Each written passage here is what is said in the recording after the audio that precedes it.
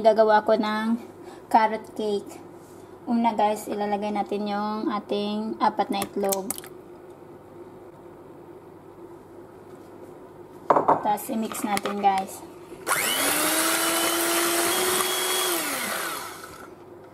Tapos ngayon, nalagay na natin yung ating 1 cup sugar. White sugar.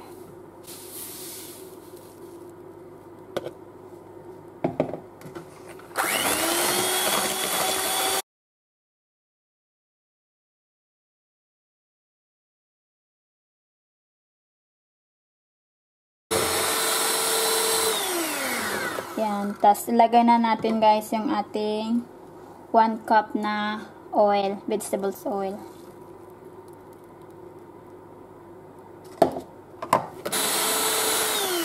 Yan. Yan, pwede na siya ilag pwede natin ilagay yung ating baking powder. 1 tablespoon na baking powder, guys. Yan.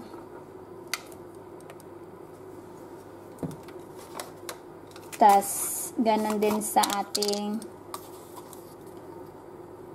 um, is, oh, 1 tablespoon din na baking soda.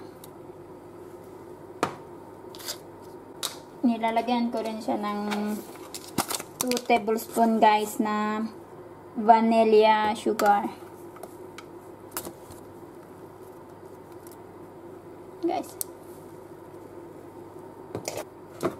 Guys, tapos lagyan natin ng ano kanil mga 1 tablespoon.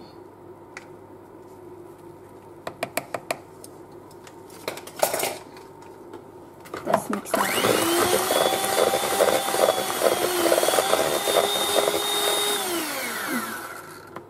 Tapos 1 uh, half tablespoon na salt guys.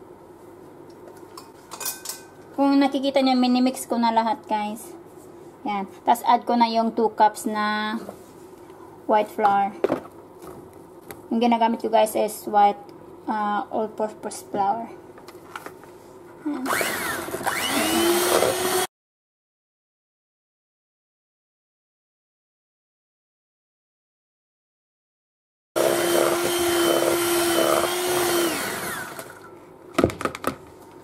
Lagay na natin guys yung ating uh, 300 grams grated uh, carrots.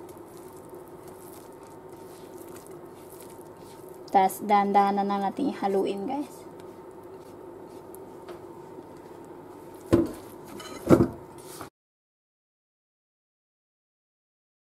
Dahanan lang natin siya haluin, guys. Ang ating spatula. Ito yung aking favorite na cake, guys. Carrot cake. Mas gusto ko yung ano homemade kaysa bumili.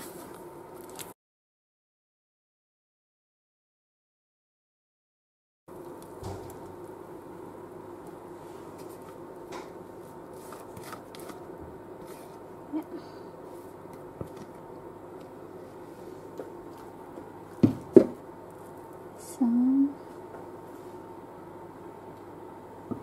guys, ilalagay na natin siya guys sa ating oven.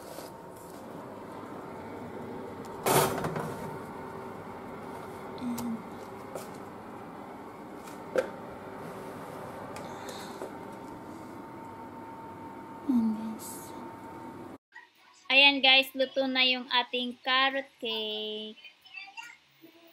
Ayan guys. Ayan guys, nilipat ko yun sa cooling rack. Tingnan nyo guys, malambot siya.